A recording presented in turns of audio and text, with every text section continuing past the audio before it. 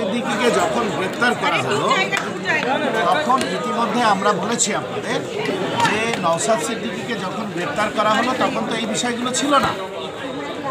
এই বিষয়গুলো কেন জোড়া হচ্ছে? এবং আমরা স্পষ্ট বলতে চাই যে এজলাসে ম্যাজিস্ট্রেটের সামনে তো এই সমস্ত কথাবার্তা কোনো তোলা হয়নি। এগুলো হাওয়ায় ভাসানো হচ্ছে। কারা অভিযোগগুলো করছে?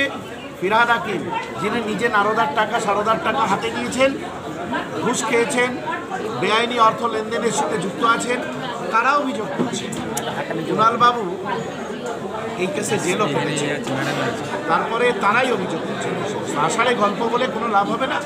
মানুষ যে বিশ্বাস করে না সেটা ক্রমশ প্রকাশ করছেন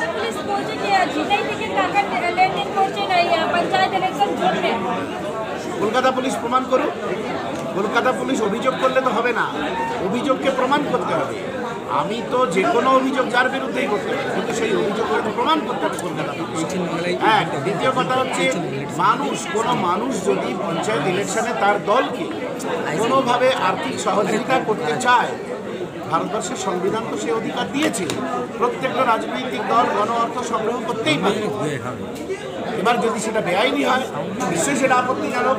সেটা কলকাতা পুলিশ প্রমাণ করুক যে বেআইনি অর্থ লেনদেন করছে। এখন কেন জোড়া হচ্ছে? ভাঙড় এবং কলকাতাকে কেন্দ্র করে কলকাতার কর্মসূচিকে কেন্দ্র করে গ্রেপ্তারি। এখন আজকে এই সমস্ত আষাঢ়ে গল্পগুলো জোড়া হচ্ছে কেন? আমরা আইনি লড়াই তো চলছেই আমাদের। সেই আইনি লড়াই নিশ্চয়ই আমরা লড়ছি। তার পাশাপাশি আজকে কর্মসূচি আপনাদের ঘোষণা করলাম যে সরকার দল ঐক্যবদ্ধভাবে আমরা প্রচারে নামছি গ্রামে গ্রামে গিয়ে মানুষের জনমত সংগ্রহ করছি। আর আগামী চোদ্দোই ফেব্রুয়ারি আমরা কলকাতার বুকে মানুষের মিছিল একটা করব আমরা। সাধারণ মানুষ ঐক্যবদ্ধভাবে মিছিল করবে। এছাড়াও সিপিআইএম পার্টির পক্ষ থেকেও আহ্বান জানানো হয়েছে। সব দল আমরা সেখানে অংশগ্রহণ করব। ভাঙড়ে একটা পদযাত্রা হবে। আর তারপরে আমরা ডেট এখনও ঠিক করিনি। চলো ভাঙড় এই অভিযান। ইতিমধ্যে আপনাদের যে প্রেস বিবৃতি দিয়েছে শুধু সেই সিপিএম থাকবে না আ- আরও অন্য কংগ্রেসও ছিল সিপিআই আছে। আমরা এই দলের নামগুলো ঘোষণা করেছি এখানে দেখে